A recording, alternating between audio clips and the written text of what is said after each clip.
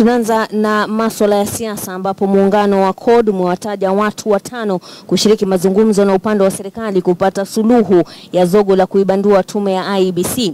Wakuu wa CORD wametangaza kundi hilo wakihudhuria ibada ya wafu kwa watu watatu waliouawa kwenye maandamano mjini Siaya na Kisumu siku chache zilizopita.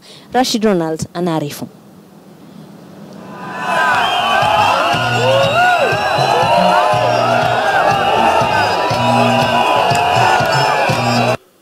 Uwanja wa Kirembe mjini Kisumu ndio uliogeuzwa ukumbi wa misa maalum kwa wale waliouawa kwenye maandamano ya kupinga IBC hivi punde hapa Kisumu na Siaya. Lakini siasa zilionekana kunoga, huku kila aliyezungumza akilaani vikali polisi, mbali na kutoa wito kwa IBC kufunganya virago na kwenda zake. Ile ilikuwa ni ile kiboko baridi. Sasa unasema tukubaliane mapema, na hii si vitisho hatuweki kama sharti, tunataka tu manake huyu muda na yoyoma. kujubilii wawache mambo ya mchezo ya paka na panya, wateue timu yao, waanze mazungumzo na sisi, tuwache mambo ya Jumatatu.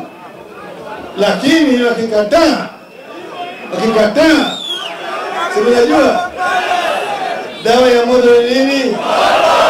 Dawa ya moto ni nini?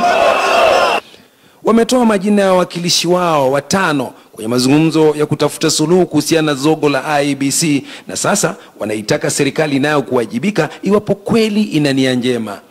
Wanachama wa ODM ni maseneta James Sorengo na Johnson Mudhama, wabunge Mishi Mboko, Eseli Simiyu na Abdikadir Aden.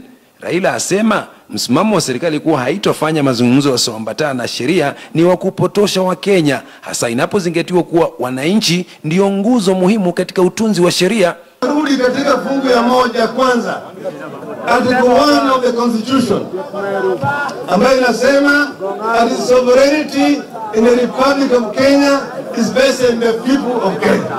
Swali ni je, serikali itabadili msimamo wake kabla ya Jumatatu? Rashid Ronald, KTN News, Kirembe katika kaunti ya Kisumu.